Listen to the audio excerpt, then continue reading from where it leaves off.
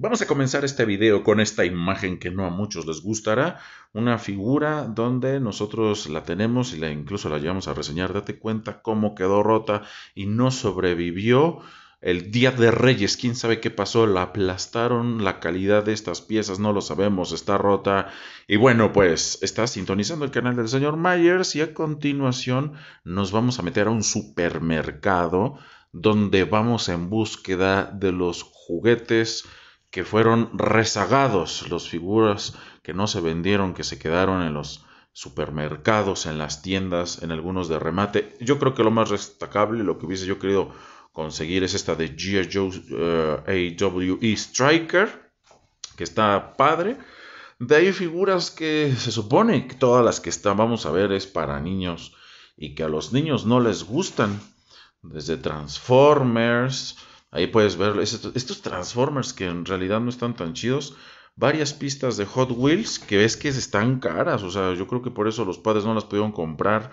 De Toy Story, por ejemplo, aquí podemos ver que algunas sobrevivieron. Está, está en 160, todavía está a buen precio.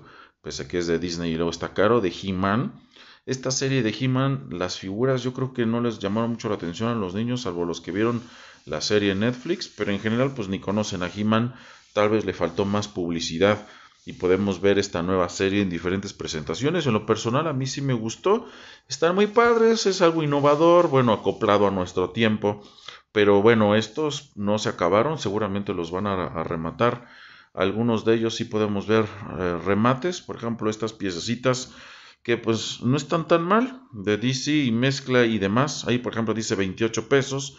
Pues está bien, está decente, ¿no? Habrá varios de ellos que yo creo que van a costar menos. Son como que tres filtros en lo que viene siendo las jugueterías.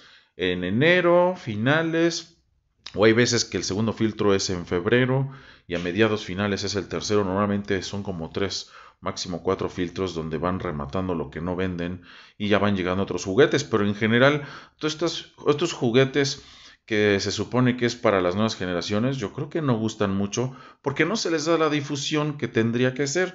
Si a los juguetes se les diera la difusión y los comerciales por todos lados que se les daba en los 80s, 90s, o de repente hay juguetes más actualizados que tienen buenos comerciales se venden, pero pues todos estos no, e incluso por ejemplo estas figuras de DC las encontramos en todos lados, el problema es que no bajan. Pocas veces podemos darnos cuenta que sí bajan y el problema es que no, no bajan.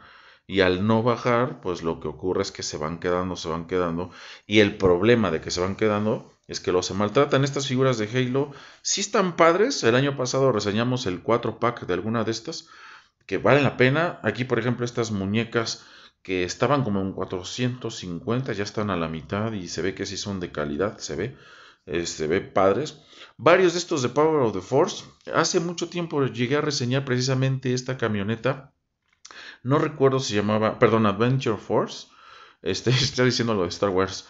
Esta yo la había reseñado. No me acuerdo si era de esta misma marca o tenía otra marca. Pero que es electrónica y adentro tiene un animalejo que está padre.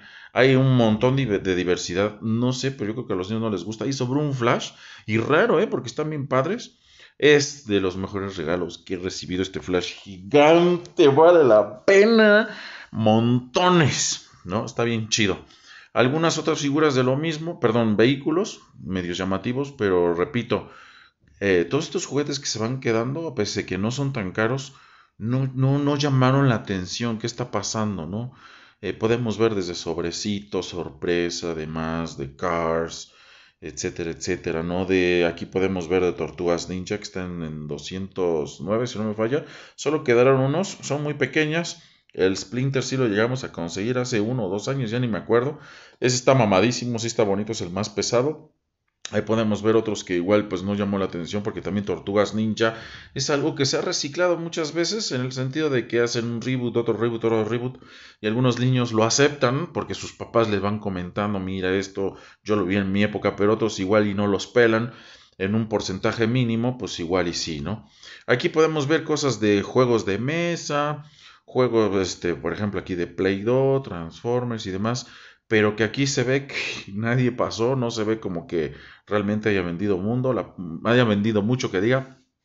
Vemos aquí el pasillo de las niñas, que hay muchas muñecas, bastante muñecas que por ahí se quedaron, porque pues obviamente varias están caras y siguen caras, ¿no? Por ejemplo, 454 y dice remate, ahí dice el precio solo bajó como 100 pesos por lo que pudimos ver, entonces ya no es remate, ¿no? Remate tendría que ser pues no sé, más del 50%, ¿no? Y bueno, pues aquí los pasillos medios vacíos, uno que otro juguete por ahí, nada más quedaron en el cascajo. Bueno, sígueme en todos mis videos, suscríbete, estamos en sintonía y hasta la próxima, bye.